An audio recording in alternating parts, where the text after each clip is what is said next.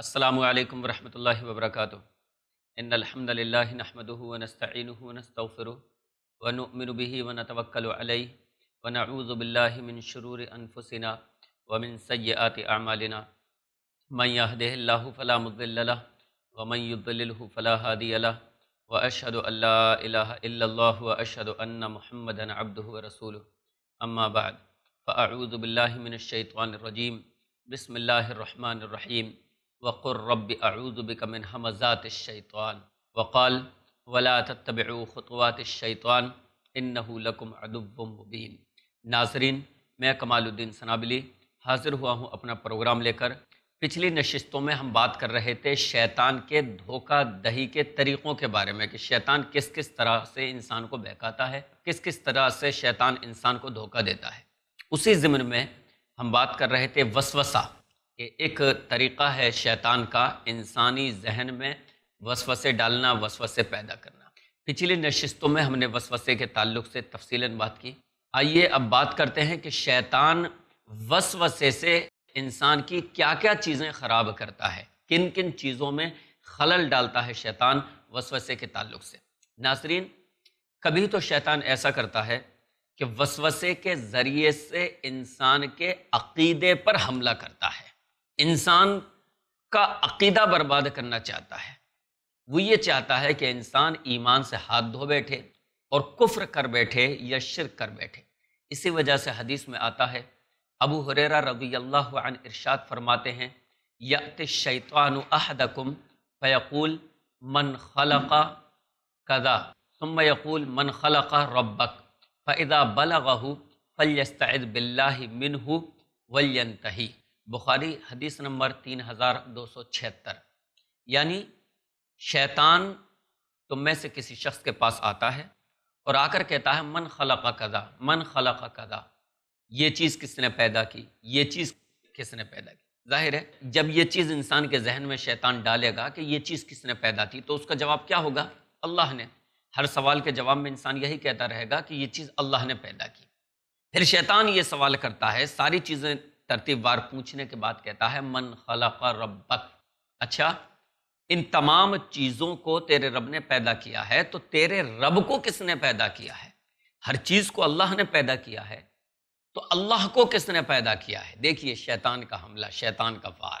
وہ ڈائریکٹ یہ وسوسہ نہیں ڈالتا کہ اللہ کو کس نے پیدا کیا ہے، وہ ایک ترتیب سے کام لیتا ہے کہ اس چیز کو کس نے پیدا کیا؟ اللہ نے۔ اس چیز کو کس نے پیدا کیا؟ اللہ نے۔ اس چیز کو کس نے پیدا کیا؟ اللہ نے۔ اس کو کس نے پیدا کیا؟ اللہ نے۔ اچھا یہ بتاؤ، اللہ کو کس نے پیدا کیا؟ آپ علیہ السلاۃ والسلام نے ارشاد فرمایا فعدہ بلغ ہو جب اس مقام تک پہنچ جائے بات، شیطان انسان کے ذہن میں یہاں تک وسوسے پیدا کر دے اور یہ سوال اس کے سامنے کھڑا کر دے کوشچن مارک لگا دے کہ من خلق ربک۔ یہ بتاؤ، تمہارے رب کو کس نے پیدا کیا ہے؟ تو آپ نے فرمایا فلیستعذ باللہ منہ فوراً اللہ کی پناہ طلب کرو۔ ولینتہی اور ایسا خیال کرنے سے، اس طرح کی غور و فکر کرنے سے باز آ جاؤ۔ یعنی اس خیال کو چھوڑ دو۔ فعضہ بلغہ فلیستعذ باللہ منہ ولینتہی فوراً اللہ کی پناہ طلب کرو اور اس خیال کو جھٹک دو۔ یعنی اس خیال کو چھوڑ دو۔ ولینتہی اور یہ تمام خیال اپنے ذہن میں لانے سے باز آ جاؤ۔ تو پتہ یہ چلا اس حدیث سے کہ شیطان کا کام ہے انسان کے عقیدے کو خراب کرنا، وسوسے ڈالنا انسان کے ذہن میں اس کے معبود کے تعلق سے، اس کے الہ کے تعلق سے کہ ہر چیز کو الہ نے پیدا کیا ہے، اللہ نے پیدا کیا ہے، تو پھر اللہ کو کس نے پیدا کیا ہے؟ اللہ کے نبی علیہ السلاۃ والسلام نے ہم کو درس دیا ہے، ہم کو حکم دیا ہے کہ اگر ایسا خیال آئے تو فوراً ہمیں اللہ کی پناہ طلب کرنی چاہیے۔ یعنی اعوذ باللہ من الشیطان الرجیم، پڑھنا چاہیے اور ایسا خیال اپنے ذہن سے جھٹک دینا چاہیے۔ بعض مرتبہ شیطان وسوسوں کے ذریعے انسان کی عبادت میں خلل ڈالتا ہے۔ انسان کی نماز خراب کرنے کی کوشش کرتا ہے۔ جیسا کہ حضرت عثمان بن ابلعاص رضی اللہ عنہ کا واقعہ ہم نے پچھلی نشستوں میں بیان کیا کہ عثمان بن ابلعاص رضی اللہ عنہ نے اللہ کے نبی علیہ السلاۃ والسلام سے شکایت کی کہ مجھے اپنی نماز میں یہ خیال ہوتا ہے جیسا کہ میرے اور نماز کے درمیان کوئی چیز حائل ہو گئی ہے۔ اور آپ علیہ السلاۃ والسلام نے ان کا علاج بھی کیا تھا۔ اور یہ بھی کہا تھا کہ جب ایسا خیال آئے، اس طرح کے وسوسے آئیں، جب تم شیطان کو محسوس کرو کہ وہ تمہاری عبادت خراب کرنے کی کوشش کر رہا ہے، تمہاری نماز میں خلل ڈالنے کی کوشش کر رہا ہے، تو پھر اللہ سے اس کی پناہ چاہو اور بائیں جانب تھک، تھکا لو تین بار۔ اسی طرح آپ علیہ السلاۃ والسلام نے ان کا علاج بھی کیا تھا اور کہا تھا، اخرج ادو اللہ یعنی شیطان سے کہا تھا کہ نکل جا، اے اللہ کے دشمن۔ ایک دلیل تو وہ ہوئی جس سے پتہ چلتا ہے کہ شیطان انسان کی نماز خراب کرنا چاہتا ہے وسوسوں کے ذریعے۔ ایک اور حدیث ابو حریرہ رضی اللہ عنہ سے مروی ہے کہ اللہ کے نبی علیہ السلاۃ والسلام نے ارشاد فرمایا، جب اذان ہوتی ہے تو اذان سن کر شیطان ری خارج کرتا ہوا بھاگتا ہے اور جب اذان ختم ہو جاتی ہے تو شیطان واپس آتا ہے۔ پھر جب اقامت ہوتی ہے تو شیطان پھر اقامت کے الفاظ سن کر دور بھاگنے لگتا ہے۔ اور جب اقامت ختم ہو جاتی ہے تو شیطان پھر واپس آتا ہے۔ اب ظاہر ہے جب اقامت ختم ہو گئی تو اب کیا ہوگا؟ جماعت۔ اقامت کے بعد جماعت کھڑی ہوتی ہے۔ اب شیطان کیا کرتا ہے؟ آ کر نمازیوں کے دل میں وسوسے پیدا کرتا ہے۔ وسوسے کیوں ڈالتا ہے؟ تاکہ ان کی عبادت کو خراب کر سکے۔ تاکہ ان کی عبادت میں سے خوشو و خضو کو ختم کر سکے۔ تاکہ ان کی یکسوئی کو ختم کر سکے اور حدیث کے الفاظ میں شیطان یہ وسوسے ڈالتا ہے آ کر انسان سے کہتا ہے، اذکر قضا اذکر قضا وہ بات یاد کرو، وہ بات یاد کرو، فلاں بات یاد کرو۔ فرمایا اللہ کے نبی نے، شیطان انسان کو ایسی ایسی چیزیں یاد دلاتا ہے جو اس کے وہم و گمان میں بھی نہیں تھیں۔ یہاں تک کہ انسان بھول جاتا ہے کہ اس نے کتنی رکاتیں پڑھی ہیں۔ یہ تک یاد نہیں رہتا انسان کو۔ بخاری حدیث نمبر 608 تو اس حدیث سے بھی پتہ چلا کہ شیطان وسوسوں کے ذریعے انسان کی عبادت میں خلل ڈالنا چاہتا ہے، اس کی نماز خراب کرنے کی کوشش کرتا ہے۔ شیطان وسوسے کے ذریعے ایک اور کام کرتا ہے۔ اس کا کام یہ ہے کہ انسان کو ہر بھلائی کے کام سے، نیکی کے کام سے روکنے کی کوشش کرتا ہے۔ جیسا کہ صحیح الجامع الصغیر کی حدیث ہے، حدیث نمبر ایک ہزار چھ سو باون۔ جس کا مفہوم یہ ہے کہ انسان جب بھی کوئی نیک کام کرتا ہے، چاہے وہ اسلام قبول کرے، ہجرت کرے یا اور کوئی نیک کام کرے، تو شیطان آ کر اس کے ذہن میں وسوسے ڈالتا ہے اور انسان کو شیطان ان نیک کاموں سے روکنے کی کوشش کرتا ہے۔ ناظرین، آئیے اب ایک اہم سوال ہم اٹھائیں کہ شیطان جو ہمارے ذہن میں وسوسے ڈالتا ہے، انسان کے ذہن میں وسوسے ڈالتا ہے، کیا اللہ تعالیٰ کے یہاں ان وسوسوں کے بارے میں بعض پرس ہوگی پوچھ تاچھ ہوگی؟ کیا ان وسوسوں کی وجہ سے انسان کے گناہوں میں اضافہ ہوتا ہے، اس کو گناہ ملتا ہے۔ کیا ان وسوسوں کی وجہ سے اللہ تعالیٰ اس کی گرفت فرمائے گا۔ تو جان لیجیے کہ وسوسوں کی وجہ سے اللہ تعالیٰ ہماری گرفت نہیں فرمائے گا۔ یہ اللہ تعالیٰ کا بہت ہی زیادہ احسان اور کرم ہے۔ اللہ تعالیٰ کی ہم پر رحمت ہے کہ اللہ تعالیٰ نے ہمارے وسوسوں کو معاف کر دیا ہے۔ جیسا کہ حدیث ہے ان ابی حریرت رضی اللہ عنہ قال قال رسول اللہ صلی اللہ علیہ وسلم، ان اللہ تجاوز عن امتی ما وسوست به صدورها ما لم تعمل به او تتکلم. رواہ البخاری، حدیث نمبر دو ہزار پانچ سو اٹھائیس۔ یعنی ابو حریر رضی اللہ عنہ روایت کرتے ہیں کہ اللہ کے نبی علیہ السلاۃ والسلام نے ارشاد فرمایا کہ اللہ تعالیٰ نے میری امت کے وسوسوں کو معاف کر دیا ہے۔ اس کے دل میں جو وسوسے ابھرتے ہیں، جو وسوسے پیدا ہوتے ہیں، اللہ تعالیٰ نے ان وسوسوں کو معاف کر دیا ہے۔ معلم تعمل بھی جب تک کہ انسان ان وسوسوں کے مطابق عمل نہ کرے۔ او تتکلم، یا ان وسوسوں کے مطابق بولے نہ۔ اگر وسوسے دلی دل میں رہتے ہیں اور ان وسوسوں پر انسان عمل نہیں کرتا، یا ان وسوسوں کا لوگوں میں پرچار نہیں کرتا، لوگوں کو اس کی تبلیغ نہیں کرتا تو پھر اللہ تعالیٰ انسان کے ان وسوسوں کو معاف کر دیتا ہے۔ یہ حدیث ہے، لہٰذا حدیث کا ظاہر ہمیں یہ بتا رہا ہے کہ اللہ تعالیٰ کا یہ کرم ہے، اللہ تعالیٰ کا یہ احسان ہے، اللہ کی ہم پر یہ رحمت ہے کہ اللہ نے ہمارے وسوسوں کو معاف کر دیا ہے۔ لیکن ناظرین، خیال رہے کہ وسوسے دو طرح کے ہیں۔ اہل علم نے وسوسوں کی دو قسمیں کی ہیں۔ ایک وسوسہ تو وہ ہے جس کا تعلق عمل سے ہے یعنی شیطان ذہن میں ہمارے وسوسہ ڈالتا ہے کہ یہ عمل کرو یا یہ عمل نہ کرو۔ مثال کے طور پر شیطان وسوسہ ڈالے گا کہ نماز مت پڑھو۔ یعنی اگر نماز کو چھوڑتا ہے تب تو اسے گناہ ملے گا۔ اور اگر نماز نہیں چھوڑتا، نماز پڑھتا ہے تو اس کو گناہ نہیں ملے گا۔ اس کا تعلق عمل سے ہے۔ یا شیطان انسان کے ذہن میں وسوسہ ڈالے کہ تمہیں شراب پینی چاہیے۔ اب وسوسہ آیا اس کے ذہن میں کہ مجھے شراب پینی چاہیے۔ تو اگر وہ شراب پیتا ہے تو گنا ملے گا۔ لیکن اگر نہیں پیتا، صرف وسوسہ ہے اس کے ذہن میں۔ صرف اس نے ذہن میں ایک پلان بنایا ہے کہ چلو شراب پی لیں۔ تو اس کو اس پر گنا نہیں ملے گا۔ یا شیطان وسوسہ ڈالے کہ تمہیں چوری کرنی چاہیے۔ تو صرف اس وسوسے کی وجہ سے اللہ تعالیٰ اس کو گناہ نہیں دے گا، بلکہ اگر وہ چوری کرتا ہے تو اس کو گناہ ملے گا۔ تو وسوسے کی ایک قسم تو یہ ہے جس کا تعلق عمل سے ہے۔ اس تعلق سے وہی چیز ہے جو حدیث میں مذکور ہے کہ جب تک انسان عمل نہ کرے تب تک وہ چیز معاف ہے۔ وسوسے پر اللہ کے یہاں کوئی گرفت نہیں ہے، کوئی پکڑ نہیں ہے، کوئی گناہ نہیں ہے۔ وسوسے کی دوسری قسم یہ ہے، جس کا تعلق عقیدے سے ہے، عقیدے سے، ایمان سے۔ اس تعلق سے اہل علم کا کہنا یہ ہے کہ جب تک وہ بات اس کے دل میں راسخ نہ ہو جائے، اگر وسوسے کے مطابق اس عقیدے کو وہ اپنے ذہن میں راسخ کر لیتا ہے، وہ عقیدہ اپنے ذہن میں بٹھا لیتا ہے، تو اللہ تعالیٰ اس وسوسے پر بھی اس کی گرفت فرمائے گا۔ اس کی مثال ایسے سمجھیں جیسے شیطان نے اس کے ذہن میں وسوسہ ڈالا کہ جنت اور جہنم شاید ہے یا نہیں، پتہ نہیں۔ شاید نہیں ہے۔ ایسا وسوسہ شیطان ڈال دے کہ شاید پتہ نہیں ہے یا نہیں۔ شاید نہیں ہے جنت اور جہنم۔ اور پھر انسان اس وسوسے کے مطابق اپنے ذہن میں اس بات کو بٹھا لے کہ جنت اور جہنم کا کوئی وجود نہیں ہے۔ اب ظاہر ہے اس چیز کا تعلق کسی عمل سے نہیں ہے۔ اس چیز کا تعلق انسان کے عقیدے سے ہے اور عقیدہ انسان کا اس کے ذہن میں، اس کے دل میں، اس کے دماغ میں چھپا رہتا ہے۔ اب وہ اپنے ذہن میں یہ عقیدہ راسک کر لے کہ جنت اور جہنم کا وجود نہیں ہے۔ تو اللہ تعالیٰ اس کے اس عقیدے پر اس کی پکڑ فرمائے گا، اس کی گرفت فرمائے گا۔ کیونکہ اس نے اپنا عقیدہ بنا لیا کہ جنت اور جہنم نہیں ہے۔ یا پھر شیطان یہ وسوسہ ڈالے کہ قبر میں عذاب نہیں ہوگا، قبر میں کوئی عذاب نہیں ہے۔ تو اب ظاہر ہے، اس چیز کا تعلق انسان کے عمل سے نہیں ہے، بلکہ عقیدے سے ہے۔ تو انسان کے دل میں اگر صرف یہ وسوسہ آیا، شیطان نے وسوسہ ڈالا کہ عذاب قبر نہیں ہے، صرف وسوسہ، تو اس پر اللہ گرفت نہیں فرمائے گا۔ لیکن اس نے اگر باقاعدہ عقیدہ بنا لیا اور اس چیز کو ذہن میں بٹھا لیا کہ قبر کا عذاب نہیں ہے، تو پھر اس پر اللہ تعالیٰ اس کی پکڑ فرمائے گا۔ یا پھر شیطان نے اس کے دل میں وسوسہ ڈالا کہ پتہ نہیں اس زندگی کے بعد دوسری زندگی ہے بھی یا نہیں، شاید نہیں ہے۔ تو صرف اگر وسوسہ آیا تو اللہ تعالیٰ اس پر اس کی کوئی گرفت نہیں فرمائے گا، کوئی پکڑ نہیں فرمائے گا۔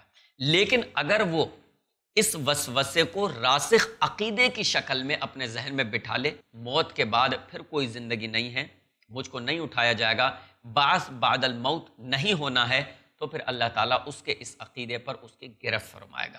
حاصل کلام یہ ہے کہ وسوسے دو قسم کے ہیں۔ جس وسوسے کا تعلق عمل سے ہے، تو جب تک انسان عمل نہ کرے اس وسوسے کے مطابق، تب تک اللہ تعالیٰ اس کی گرفت نہیں فرمائے گا، اس کو اس پر گناہ نہیں دے گا۔ اور جس وسوسے کا تعلق عقیدے سے ہے، تو اللہ تعالیٰ اس وسوسے پر بھی گرفت نہیں فرمائے گا جب تک کہ وہ محض وسوسہ رہے۔ لیکن اس وسوسے کو انسان جب ایک راسخ عقیدے کی شکل دے دے، ایک نظریے کی شکل دے دے اور اس نظریے کو، اس عقیدے کو اپنے ذہن میں بٹھا لے، اس سے متاثر ہو جائے، اس کا اقرار کرنے لگے، اس کو ماننے لگے، تو اللہ تعالیٰ اس کی اس عقیدے پر گرفت فرمائے گا۔ اللہ تعالیٰ ہمیں اس طرح کے تمام شیطانی وسوسوں سے محفوظ رکھے۔ ناظرین، یہ تو ہوئی وسوسوں کی بات کہ شیطان ہمارے دل و دماغ میں وسوسے ڈالتا ہے، وسوسوں میں مبتلا کر کے ہم کو وہ جنت سے دور اور جہنم کے قریب کرنا چاہتا ہے، ہمارے رب سے دور کرنا چاہتا ہے، آخرت پر ایمان سے دور کرنا چاہتا ہے، تقدیر پر ایمان سے دور کرنا چاہتا ہے، جنت اور جہنم کے وجود کا انکاری ہمیں بنانا چاہتا ہے، عذاب قبر کا انکاری ہمیں بنانا چاہتا ہے اسی طرح کے اور دوسرے مسائل، نماز سے ہمیں روکنا چاہتا ہے، حج سے روکنا چاہتا ہے، مفلسی کا خوف دلاتا ہے، عمرے سے روکنا چاہتا ہے، رب کی راہ میں خرچ کرنے سے روکنا چاہتا ہے، صدقہ و خیرات سے روکنا چاہتا ہے، زکوٰۃ دینے سے روکنا چاہتا ہے، حق باتوں کو دوسروں تک پہنچانے سے روکنا چاہتا ہے، دوسروں کے خلاف لڑنے کے لیے ہمیں ابھارتا ہے، اپنے بھائیوں کے خلاف ہمیں لڑنے پر ابھارتا ہے، بغض و حسد پر ابھارتا ہے، ہمارے دلوں میں ہمارے بھائیوں کے تعلق سے برائیاں پیدا کرتا ہے مختلف طریقے کے وسوسے جس کی لمبی فہرست شیطان ہمارے دلوں میں ڈالتا ہے، ہمارے اندر وہ وسوسے ابھارتا ہے۔ یہ بات تو ہمارے سامنے آ گئی۔ اب آئیے دیکھتے ہیں کہ ان وسوسوں کا علاج کیا ہے۔ ان وسوسوں پر ہم کس طرح سے قابو پا سکتے ہیں؟ یا یہ کہہ لیجیے کہ اگر وسوسوں پر قابو نہ پا سکے، وسوسے کسی نہ کسی انداز میں ذہن میں آ بھی جائیں، لیکن ان وسوسوں کے شر سے ہم کس طرح سے محفوظ رہ سکتے ان وسوسوں کے نقصان سے ہم کس طرح سے محفوظ رہ سکتے ہیں؟ اس میں سب سے پہلی چیز نمبر ایک کہ قرآن اور سنت کا علم حاصل کیا جائے۔ کیونکہ شیطان انسان کو وسوسوں میں مبتلا کرتا ہے، اگر انسان کے پاس قرآن اور حدیث کا علم ہے، تو پھر وہ شیطان کے ان وسوسوں کو دور کر دے گا۔ وہ شیطان کے ان وسوسوں کو دماغ سے جھٹک دے گا۔ اور پھر شیطان کے پیدا کیے ہوئے وہ وسوسے، اسے کوئی نقصان نہیں پہنچا سکیں گے۔ جیسا کہ اگر اسے حدیث کا علم ہے کہ اللہ کے نبی علیہ السلاۃ والسلام نے یہ پیشن گوئی پہلے ہی فرما دی، اللہ کے نبی نے پہلے ہی ہم کو متنبع کر دیا کہ شیطان تم کو بہکائے گا، وسوسے ڈالے گا کہ من خلق قدا من خلق قدا یہ چیز کس نے پیدا کی؟ یہ چیز کس نے پیدا کی؟ من خلق ربک، اب یہ بتاؤ تمہارے رب کو کس نے پیدا کیا؟ تو اگر اسے اس حدیث کا علم ہے تو اسے فوراً معلوم ہوگا کہ اللہ کے نبی علیہ السلام نے اس وسوسے کا علاج یہ بتایا ہے کہ فوراً اعوذ باللہ پڑھ لیں ولینتہی اور ایسا سوچ و وچار کرنے سے باز آ جائیں۔ یا نماز میں اگر اس کو وسوسے آ رہے ہیں، اس کی نماز خراب ہو رہی ہے، اگر اس کو حدیث کا علم ہے تو فوراً اس کو خیال آئے گا کہ اللہ کے نبی علیہ السلاۃ والسلام نے ایسے موقع پر تعلیم دی ہے کہ ہم اللہ کی پناہ ڈھونڈیں، اعوذ باللہ پڑھ لیں اور بائیں جانب تھک تھکا لیں تین بار۔ یہ اس طرح کا کوئی اور وسوسہ آ رہا ہے تو قرآن و حدیث کا اگر اس کے پاس علم ہے تو وہ اس علم کے ذریعے اس وسوسے سے بچ سکتا ہے اور اگر وسوسے سے نہیں بچ سکا تو کم سے کم وسوسے کے نقصان سے بچ سکتا ہے۔ شیطان کے وسوسے کو ذہن سے جھٹک سکتا ہے یا اس کا پامردی سے مقابلہ کر سکتا ہے قرآن و حدیث کے علم کے ساتھ۔ لہٰذا سب سے پہلا علاج یہ ہے کہ ہم قرآن اور حدیث کا علم حاصل کریں۔ قرآن اور سنت کا علم حاصل کریں۔ صحابہ اکرام کے واقعات پڑھیں، صحابہ اکرام کی زندگیاں دیکھیں، صحابہ اکرام کی سیرت کو پڑھیں۔ اللہ کے نبی علیہ السلاۃ والسلام کے صحابہ، دنیا کے پہلے مسلمان، اولین مسلمان، جن کے سامنے قرآن نازل ہوا، جنہوں نے نبی سے دین کو سیکھا، جنہوں نے نبی علیہ السلاۃ والسلام سے اسلام کو سیکھا۔ نمبر دو، وسوسوں کے نقصان سے بچنے کا طریقہ، یا وسوسوں سے بچنے کا طریقہ؟ کہ انسان اللہ رب العالمین سے زیادہ سے زیادہ دعائیں کرے۔ دیکھیے، دعا یہ مومن کا بہت بڑا ہتھیار ہے۔ ہم کمزور ہیں، ہم انسان ہیں۔ ہم شیطان کا مقابلہ نہیں کر سکتے۔ اے اللہ، تو ہمیں شیطان کے مقابلے میں طاقت عطا فرما۔ اللہ اعنی اللہ ذکری کا و شکر کا و حسن عبادت اللہ تو ہماری مدد فرما کہ ہم اچھی طرح سے تیری عبادت کر سکیں۔ تو انسان اللہ سے دعا کرے، اگر اس کے ذہن میں وسوسے آتے ہیں، رو کر، گڑ گڑا کر، اللہ رب العالمین سے دعا کرے کہ اللہ یہاں میرے ایمان کا معاملہ ہے، میرے عقیدے کا معاملہ ہے، میری عبادت کا معاملہ ہے۔ شیطان میرے پیچھے پڑا ہوا ہے۔ اللہ شیطان کے مقابلے میں تو میری مدد فرما اور ان وسوسوں سے میرے ذہن کو محفوظ کر دے، ان وسوسوں سے مجھے محفوظ فرما، شیطان کو مجھ سے دور کر دے۔ نمبر دو، دعا کرنا ہے۔ نمبر تین ذکر و اذکار کرے۔ کیونکہ جب انسان اللہ کا ذکر کرتا ہے، تو جب تک وہ ذکر کرتا ہے، شیطان اس سے دور رہے گا۔ دیکھیے، ذکر و اذکار یہ بہت بڑا ہتھیار ہے شیطان کے مقابلے کے لیے۔ اگر انسان اللہ کے ذکر میں مصروف و مشغول رہتا ہے، تو اللہ کی بہت بڑی مدد اس کو حاصل ہوتی ہے اور شیطان کی پکڑ اس پر کمزور سے کمزور ہوتی چلی جاتی ہے۔ نمبر تین سورہ بقرہ، آیت الکرسی اور معوضتین اس کی تلاوت کرے اپنے گھر میں بھی اور اپنے اوپر بھی دم کرے کیونکہ یہ وہ صورتیں ہیں جن سے جنات گھروں سے دفع ہو جاتے ہیں، بھاگ جاتے ہیں۔ شیطان بھاگ جاتے ہیں۔ لہٰذا جب جنات اور شیطان گھر سے بھاگ جائیں گے، تو پھر ان کا زور بھی انسان پر کم ہو جائے گا۔ تو سورہ بقرہ، آیت الکرسی اور معوضتین کی تلاوت کرے نمبر چار، سورہ بقرہ کی آخری جو دو آیتیں ہیں آمن الرسول بما انزل به۔ آخری جو دو آیتیں ہیں، ان کی تلاوت کرے کیونکہ ان دو آیتوں کے سلسلے میں بھی حدیث میں آتا ہے۔ اس کا حوالہ انشاءاللہ آگے ہم تفصیل دیں گے۔ ان دو آیتوں کے بارے میں بھی آتا ہے کہ جس گھر میں تین دن یہ آیتیں پڑھی جاتی ہیں، شیطان اس گھر سے دور ہو جاتا ہے۔ نمبر پانچ، وہ اچھی کتابوں کا مطالعہ کرے۔ کیونکہ جب وہ بہترین مطالعہ کرے گا، اچھے رائٹرز کو پڑھے گا، اچھے منہج کی کتابیں پڑھے گا تو پھر انشاءاللہ اس کے علم میں اضافہ ہوگا اور وسوسے اس کے دل و دماغ سے دور ہو جائیں گے۔ نمبر چھ، اچھے لوگوں کی صحبت اختیار کرے کیونکہ جب اس کا اٹھنا بیٹھنا اچھے لوگوں کے ساتھ ہوگا، اچھے لوگوں کی مجلسوں میں وہ اٹھے گا، بیٹھے گا، تو انشاءاللہ وہ شیطان کے وسوسوں سے بھی دور رہے گا اور اگر کچھ وسوسے اس کے ذہن میں آئیں گے بھی، تو اچھے لوگوں کی مجلس میں بیٹھنے کی وجہ سے ان وسوسوں کی چال کو وہ سمجھ جائے گا اور ان کے خطرات سے وہ دور ہو جائے گا۔ ناظرین، آج کا وقت ہمارا یہیں پر ختم ہوا۔ انشاءاللہ اس موضوع کو لے کر پھر ہم آپ کی خدمت میں حاضر ہوں گے۔ اگلی نشست میں تب تک کے لیے اجازت دیجیے تمام مسلمانوں کو اپنی دعا میں یاد رکھیے۔ السلام علیکم ورحمۃ اللہ وبرکاتہ۔